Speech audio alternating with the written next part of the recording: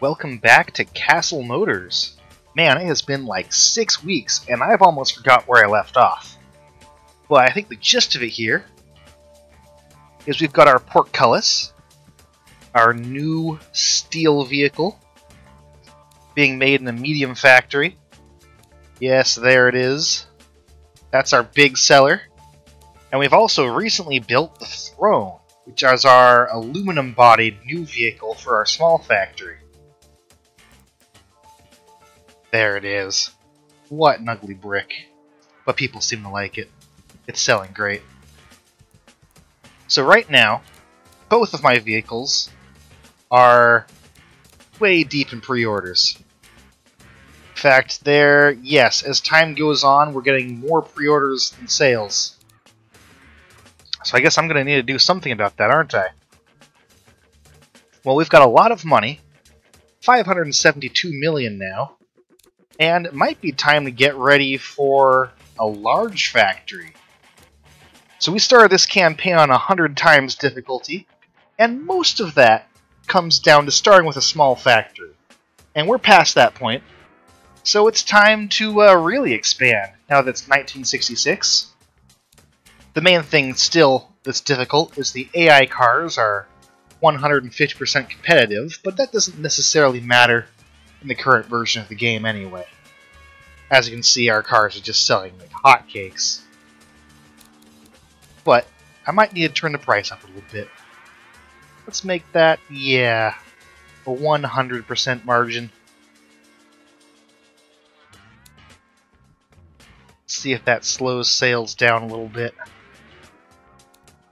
Because right now, we're having to pay back all those pre-orders we can't fill. And we don't like that.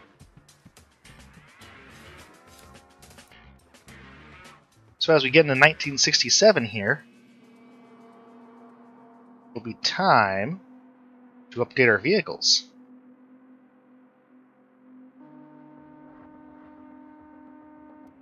That hasn't stopped more pre-orders from coming in. Yeah, pre-order change 83, 1,000. Wow. People are just getting on like the two-year wait list for these cars. So let's see in our markets here. Off-road premium, as of 1965, has finally come into existence. I think maybe we want to build a dedicated trim of the throne for that purpose. And we're also going to make a new trim of the portcullis. But first, the throne. New facelift. As will be our first update to it as well. So it's now 1967, and what's changed since 1961? So this is the SUV variant. It has six seats, and it's kind of marketing towards family utility, family utility premium, to replace the uh, engine as well. 1967. What's this thing have? Carburetors, that's fine you can just give a couple notches of compression. Or one. Ignition timing, ooh, we can rev it higher too, maybe. Assuming, of course, that they actually like that. Which they do.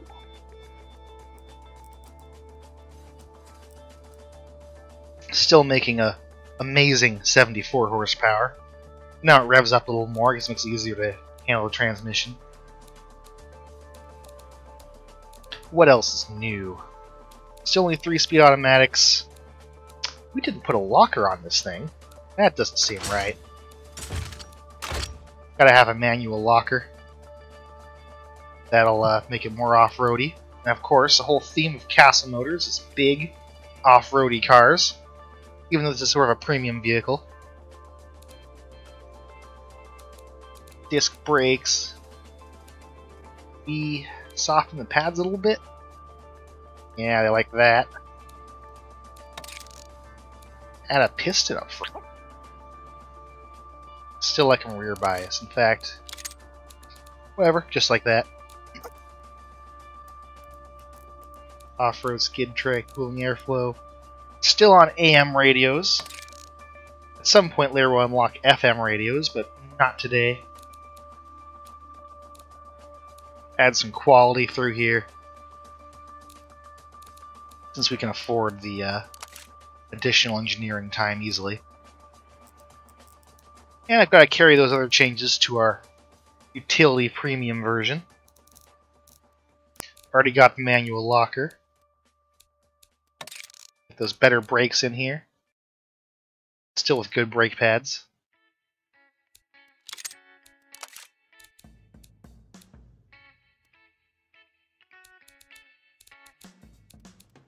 Want more bias? Nope. Don't know why, but they like it crazy front braked. Often utility prefers it the other way around, whatever. Monotube dampers. Always better, pretty much. Cool. Those are the changes to that. Now we've got to see if we can make a dedicated off-road variant. And we don't have solid axles on this thing. We've got wishbone suspension, which is a more comfortable ride.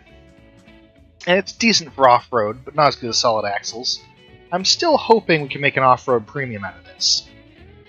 And for that we want... Oh, well we don't really have a SUV body type, do we? This is the closest we get. And for off-road premium, it has too many seats. It's not prestigious enough. And it's not the right shape. So maybe this car will not get to be an off-road premium. And uh, Sport Utility Premium, which it might be closer to, doesn't exist for another eight years. So we're not going to make that version. But we have the new 1967 truck and van coming up and we can definitely max out the size of this factory.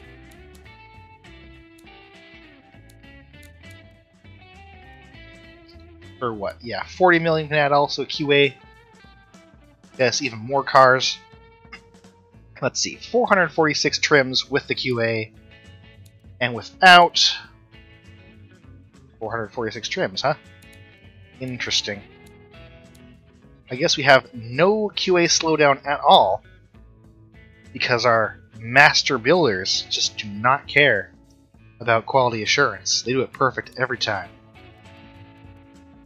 And I can't improve the automation without actually losing the amount of cars I make because the aluminum's kind of hand built. I can't see a demographic score until I think I finish the engine setup too.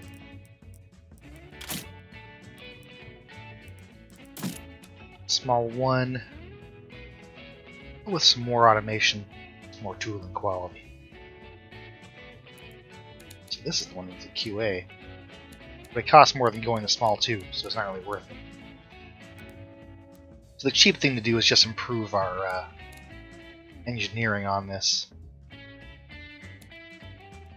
And we'll figure out how many months we want to engineer the engine for when we go back and double check the car's engineering. Let's see, so we took some shortcuts when we designed this car in the first place, huh? It has a low automation tooling. So let's just crank that up. That's the most expensive part of engineering, is designing the car to be efficient on an assembly line. But uh, that's fine. Get this done in 30 months, maybe? Yeah, that's fast enough. Two and a half years. And then we go back to the engine. We also set the engineering suppliers for 30 months. What else can we get out of this? Hmm. We're making, I think, enough of them. Let's get them real reliable. That should be a big uh, markets we're targeting. We care a lot about reliability. Double check, I'm making 900 cars, making 950 or so engines. It's great. And we go straight off to 100% margins for this thing. With a 50% pre-order deposit, so people stop pre-ordering quite so much. And that says that we're going to lose money, but I'm actually certain that's wrong. Let's see. Total cost $50 million. We don't need to take out a loan for that. And boom, on the timeline. Throne Mark II coming in 30 months. Now what about the Portcullis? This will be our second update. Probably after this is due to be replaced entirely. But I'm sure we can make some good improvements. Six years later. Now let's see. We have a big and a small version of the engine. And I believe the delivery uses the small version. It's more fuel efficient. Of course, delivery customers really care about that because they're driving all day, and uh, every dollar spent on gas affects their profits.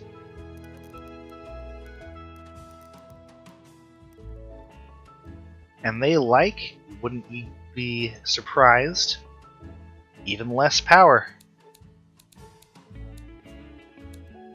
Using 87 octane fuel, yeah.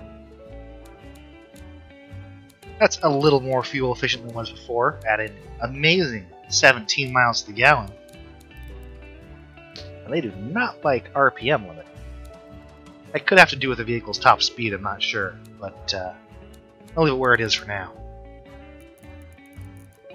And we have a top speed of 74 miles an hour.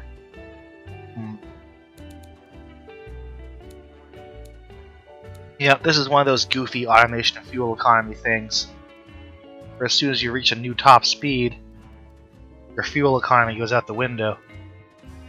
I think it's time to accept it, though, that we're going to go a little faster. To 85 miles an hour. And now if we go back to the engine, do they like revs again? They do. All the way up to 4,500. So, all in all, we've gained 0.3 miles a gallon and the vehicle's faster. We'd save even more gas by limiting the top speed in a stupid way, but that's not realistic, so I don't like to take advantage too much. All drum brakes staying on this guy. They're cheaper to maintain. Delivery has like a multiplier to uh, maintenance cost. Don't like any extra quality. Don't even want monotube dampers. They don't want anything that costs an extra dollar. Not ready for a radio it either, are we? No. I think later on, maybe it's just because they get more wealthy, but they start to prefer a little more comfortable cars. Even in delivery. Right now, though, if you're a delivery driver, your butt can suffer. Let's see, the utility version of the car that uses the big engine. Good to update that too. Now, if you remember, this is our older pushrod six-cylinder engine. The Thrones, I intended them to use this engine as well. They actually had to use a four-cylinder engine because they these things couldn't fit inside. So, this makes a lot more power. It's not as fuel efficient comparatively. They really, really, really like getting the RPMs up. I don't know what's changed that uh, everybody wants it higher now. Because remember in the past they wanted it kept low for reliability. But I guess our materials are getting better and cars are getting faster, so you have to compete. Lean out the gas the rest of the way. We're still making two more horsepower than we were before. No room for more compression on there. That's it. Four more horsepower, more RPM. And, oh god, this thing had the two-speed automatic. Was it? Yes, they don't like the three-speed as much because of the wheel spin. And then, if you take away the wheel spin by making it reasonable, they still like it even less because they want to have a low speed or something. I don't have a genius way out of this one.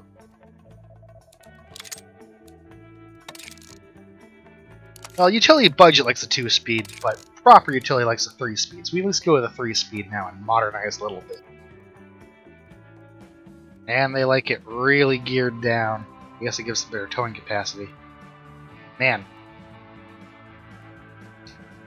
40% wheel spin. Gearing top speed barely allows the car to go on the highway. But they love it. 220 in heavy utility, 190 in utility. Where, uh, if you don't remember, 100 is the baseline set by other cars. In fact, we can compare the scores that we have to the average utility competitor, or the top three, rather. You can see we're worse in a lot of ways, but it's much more actually utilitarian. So this is the, the big truck counterpart to more consumer truck. And I'm looking forward to, I don't know if you've seen the latest automation update video. This whole interface is going to change something that's a little more clear on how good you're doing for your market with the stats. I'm looking forward to that. Still all drum brakes. Yep, nobody wants disc brakes. Or no, eh, eh, they like them a little bit. But not much. So why re-engineer the car? Keep the drum brakes on there. It's still the 60s, you can have drums on a truck.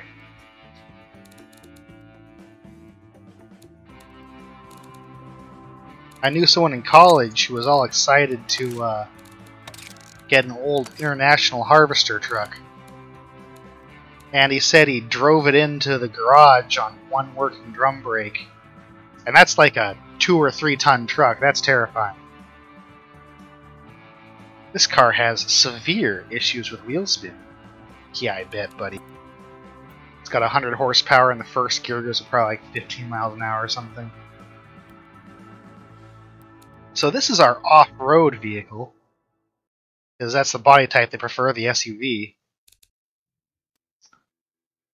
And it's using the larger engine, which we already updated for the pickup truck. What do they like? They like lower gearing too. Maybe especially now their engine has more RPMs. Not really sure what changes to make for off-road in this case keeping the drum brakes. Now, what I might want to investigate is an off-road premium vehicle.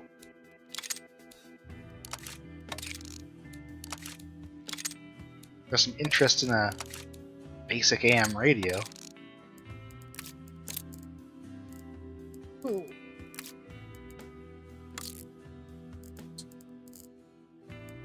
Not comfortable enough for off-road premium, huh? Interesting. But it looks like the off-road market now has enough money they want an actual decent interior. So that's something. Not really sure how to make the car that much more comfortable. We already have a wacky suspension setup, I guess doesn't help, but uh, that's what off-road wants. Sway bar on there gets us a lot more comfort.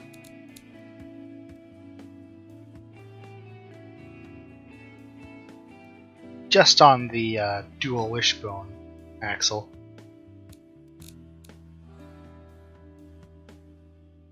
Comforts up a lot, but we're still not approaching off-road premium quality. Even Hydra suspension, they don't like that. Not really sure what we're comparing ourselves to.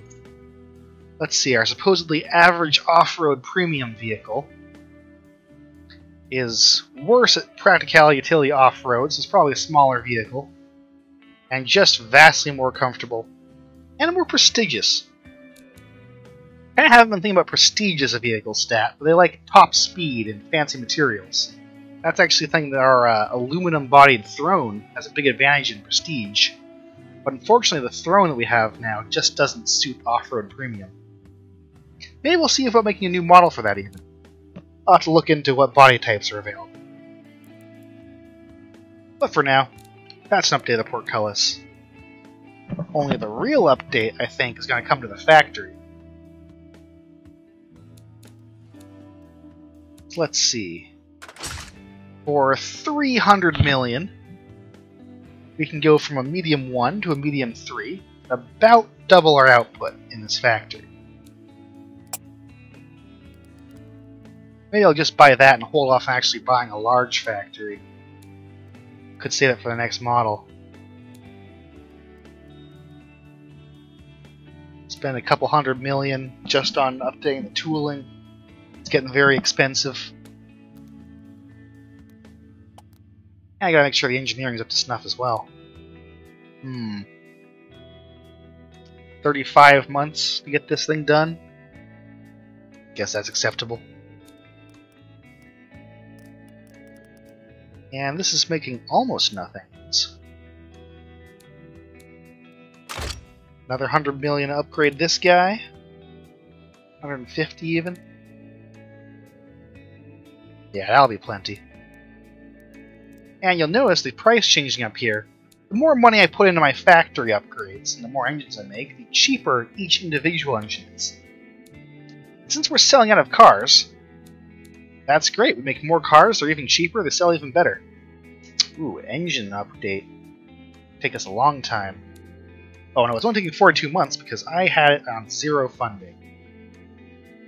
So let's see. If I up the funding to an average amount, 50, right in the middle of the slider, we can afford, yes, even more reliability. Nobody's more reliable than Castle Motors. And we'll just go on 100% pricing margin. These cars are actually getting very cheap to build now that we have bigger factories. In fact, this is putting our uh, prices pretty much right where we want them. Do I need a loan for this? Yeah, let's take out the loan just to be safe. I don't want to get caught off guard by paying back all these pre-orders.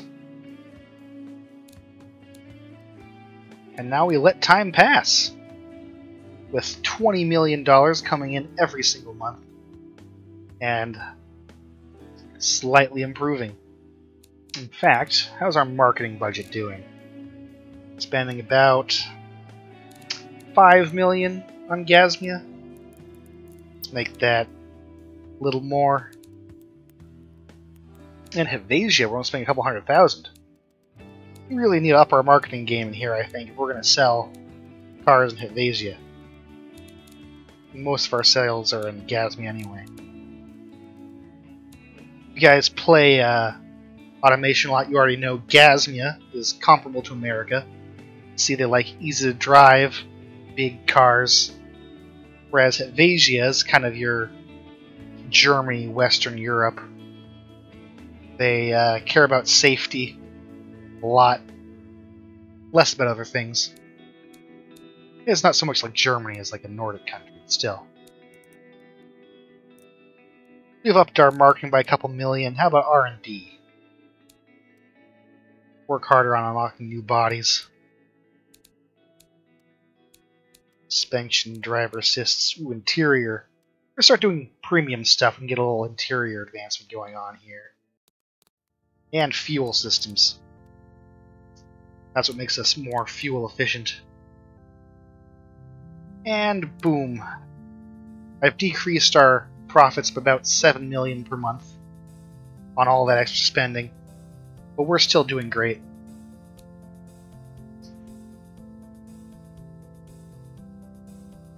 Oh. Government of Invasia has passed a ban on the sale of leaded fuel vehicles. Hmm. I'm pretty sure I should double check. I'm pretty sure I already updated our engines. Be okay that 87 octane. Is that leaded? Oh. Regular leaded. I missed a big opportunity to go to regular unleaded fuel. But, uh, you know what? I'm just going to suffer the consequences. We won't be able to sell our cars in Havasia for a little bit. Despite just dumping a lot of marketing into it. Uh, oh, oh well. Oh well. We'll, we'll get it in the next update. We're a Gasmean company. We can be slow in getting rid of leaded fuel. I think. Oh, expenses coming in. We are starting our construction of the factory updates. And that's also put an end to our production of our previous car. Wow. And we paid back our pre-orders on a throne. I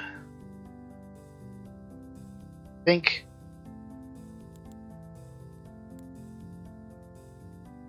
Yeah, all our factories are stopped. We're spending about a million dollars on car production, which is nothing for seven million. And uh, more than that on marketing, more than that on factory construction, research. So the new throne's out. It's selling at a pretty high price, and it's still selling like crazy. That factory is running as hard as it possibly can and pre-orders are just piling up. You already have to wait 18 months to get a throne pickup truck. Everybody wants one. You don't have a throne, who even are you? Portcullis is coming out. Is that the same deal? Little more reasonable. Not like more than a year wait lists. But it's selling great. It's selling at great margins. It's bringing lots of money. and our profits are higher than ever. Now we really are equipped for a large factory. But uh, I'm going to wait one more year. What's coming up? Eight tracks! No more just radios, you can play your very own music in the car. That's crazy. Oh, and I think I'm going to actually save this for the next episode. Single point electronic fuel injection. High tech in the 1970s. I think we're getting four speed automatics coming up too. So now this 1971. We are absolutely rolling in the dough. We have a billion dollars in the account. 40 million coming in every month. I need to update our marketing and research again just get rid of some of that damn money so we stop having to pay 150 million in taxes every year. And it's about time to make a replacement for the portcullis. That's gonna have to go in a large factory. What are we looking at here? Or let's say utility as a target. We've got very strange looking truck body. Probably not a big fan of that. Lots of little cars. Oh, now this is a van. Unfortunately, I like to double up on vehicle types. This isn't a great choice for us in terms of variety, but it's definitely in the style for our company. And of course, as you can see, we're unlocking body styles from 1975, even though it's 1971. That's the effects of all that research money we're spending. And it's very useful for us to get access to more of these bodies. I'm liking this. This could be a new castle vehicle. This 2.8 meter Jeep looking guy. Get a SUV, check. You get utility vehicle, check. That could be a replacement. And the shorter version. Could be maybe a choice. I don't know if we want to replace the throne. Could make a new small factory. Might go for an off-road premium with uh, an aluminum body just to buff up the prestige. What else we have to work with? We have the armored vehicle people mover. That's a little ridiculous. Oh, there's a 3.7 meter version as well. Limousines, giant box vans. That's that's absurd. Know what we're looking for. We do have the Astro van. I like this. A van people mover utility. Sadly, no SUV version, which means the off-road will always be biased against it. Even the short version, which would be good for that sort of thing. So that's about where we are. You've seen these bodies. Let me know in the comments, what should we use to replace our now aging, it's been updated three times, portcullis, where we need to have a good delivery, utility, and off-road version. And maybe we can replace our throne with a more modern van if we want to, although I love this bubble van. And uh, maybe we can make a new model as well. Might be time to really build something that'll target that off-road premium. And if we're lucky, has a good SUV variant.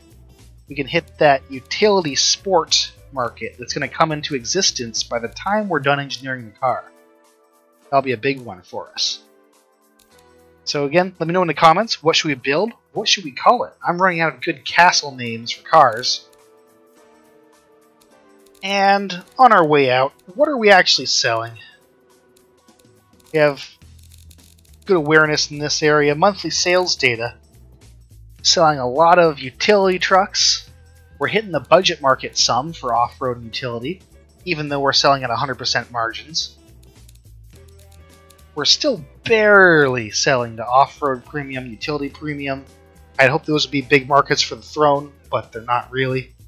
Maybe we need to go all out and get a, like a full luxury interior. Delivery looks like it's our biggest seller by far.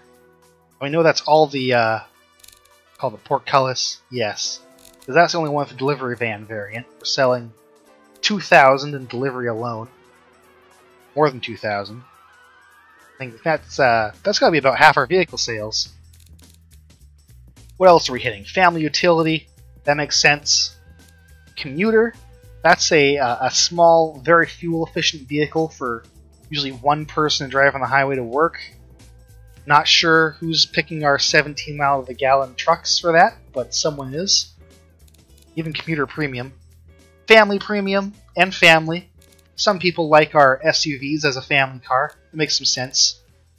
Family sport. That doesn't make as much sense at, at all. Or family sport premium. And some sales going off into the pony and muscle car area. That's not completely absurd. There's usually a little overlap with trucks in those. But uh, still our big things, delivery, utility right now, which is what we've been aiming for.